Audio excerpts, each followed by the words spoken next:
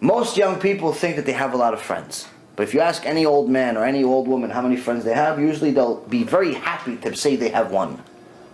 So one time there was a 20 year old kid, came to his father, so happy in his life, he's 20, he's partying, he's this, he's that, and his dad asked him, listen, son, how many friends you have? He goes, ah, dad, I have at least 100 friends. You have 100 friends? Yeah, I have 100 best friends. Everybody's my best friend, not just a friend, best. We go here, we go there, we go there, we go there. He goes, Abba, you must have a thousand, two thousand friends. He goes, no, I don't have. Goes, how many friends you have, Abba? Half a friend. Goes, what do you mean half a friend? He goes, Abba, half a friend. That's it? What, everybody doesn't like you? He goes, no, no, no, I only have a half a friend. He goes, wow. He goes, no, Abba says, uh, you shouldn't feel bad for me. You should feel bad for you. He goes, why? Because I have more friends than you. Goes, wait a I just told you I have a hundred friends. He goes, you don't have any friends. I have a half a friend, you have nothing. So how do you know I have no friends? I just told you I have a hundred. I'll prove it to you. Go take a sheep, slaughter it, put it in a garbage bag, and knock on every one of your friends' uh, doors and tell them, listen, there's a dead body, I just killed somebody by accident. Help me out. And see what they say to you. So the kid says, okay, why not? Knocks on the first door, listen, there's blood everywhere. On him, on his shirt, everywhere. It looks like real. Yo, listen, I just killed this guy. You gotta help me out. Hey, hey, hey, get out of here. Close the door right in his face.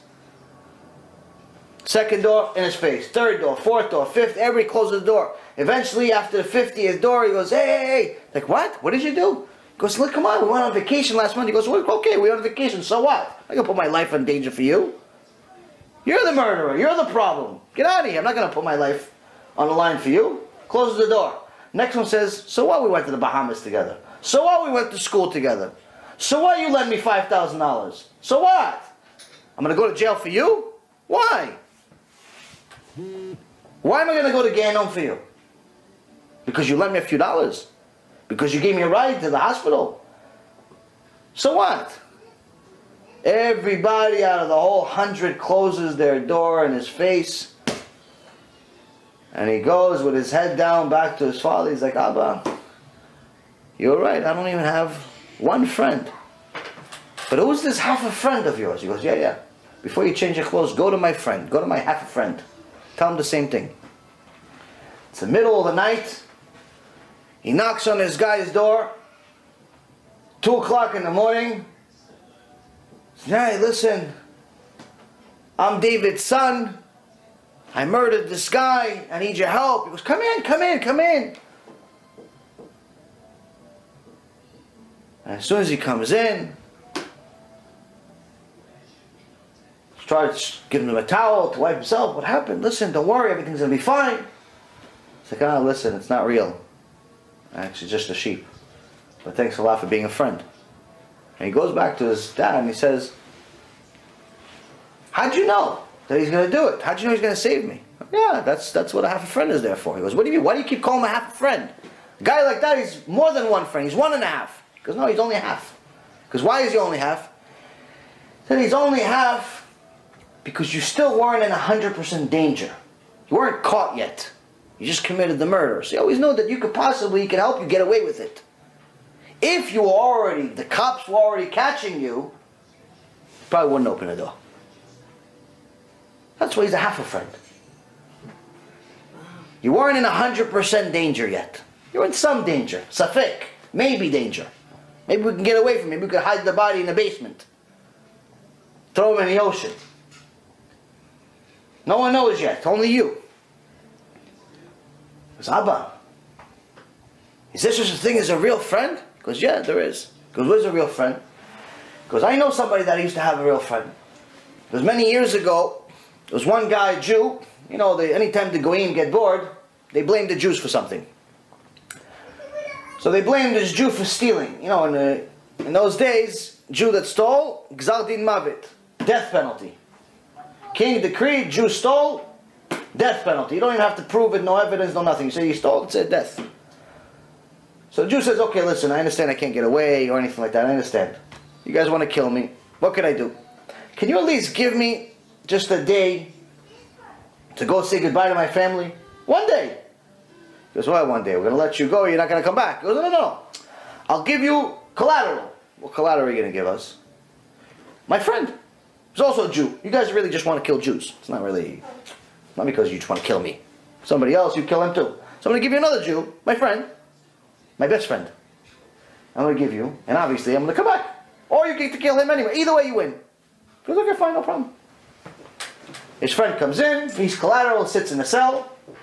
Said, if you're not back on Tuesday, 2 o'clock, say we're killing your friend. No problem. Tuesday at 1.55.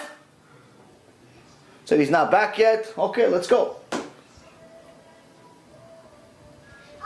The friend goes, they put the rope on his neck, and all of a sudden they hear the guy scream, No! I'm back, I'm back, I'm back. It's like, yeah, but you were late. Okay, oh, I'm sorry, I'm here, I'm here, I'm here. You can't deny that I'm here.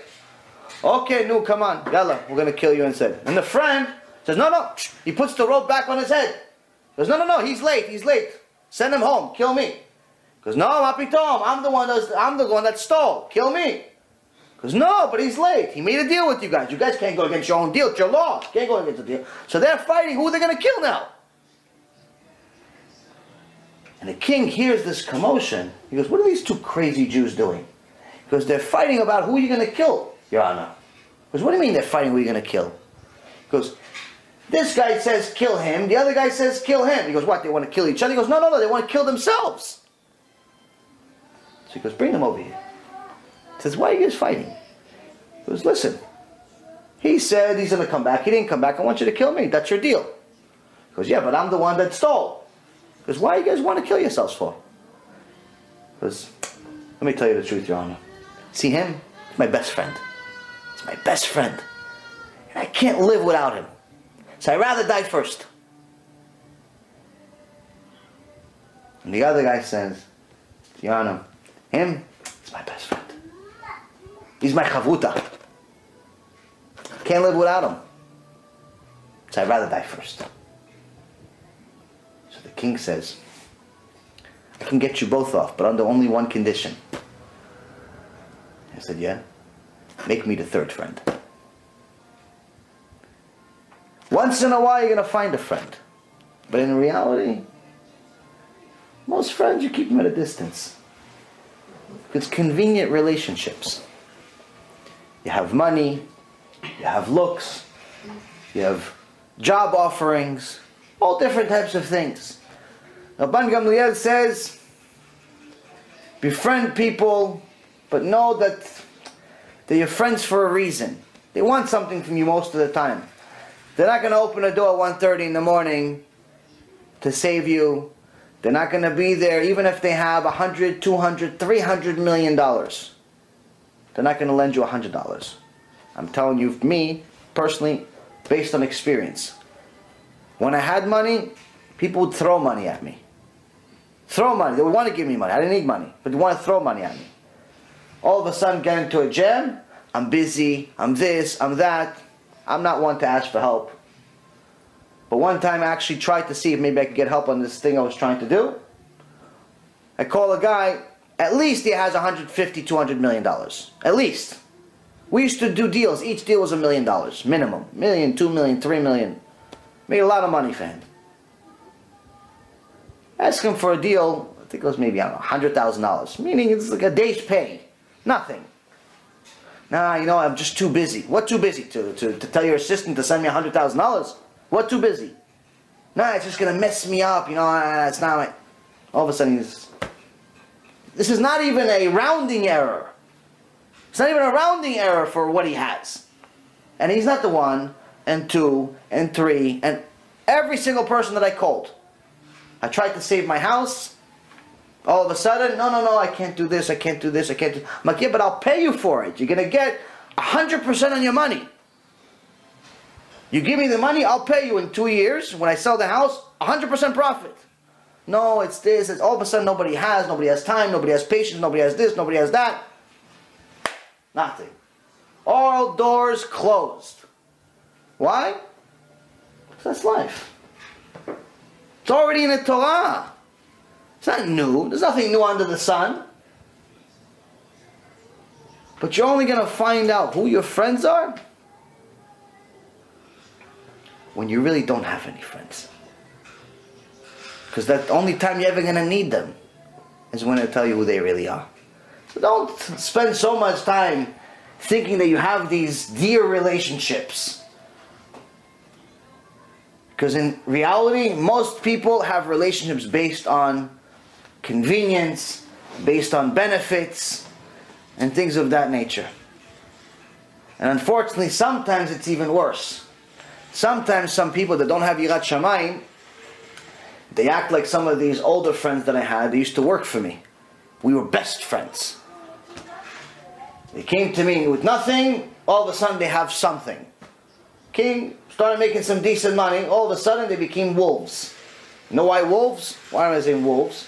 Because wolves have a nature in them that if one of the wolves, it's a wolf pack, you know, wolves don't go alone, they have a bunch of friends. Yeah. But as soon as one of them gets weak, what happens? Where did they go bring him a uh, some help, some doctors? They bring him a, a fruit tree, bring him a drink. No, what do they do? They eat him. Yeah, you're too weak for us. You're too weak for the pack. They eat the wolf. Sometimes people act like wolves. Sometimes the wolves are actually better than the people because at least they wait until he's really weak. That's what happens. This is reality. Who do you invest in? Invest in your neshama. Invest in your family. Invest in your own home. Everyone else, yeah, if it happens, it happens. It doesn't happen, it doesn't happen. Don't be like this 20 year old kid that thinks he had 100 friends. You don't have 100 friends.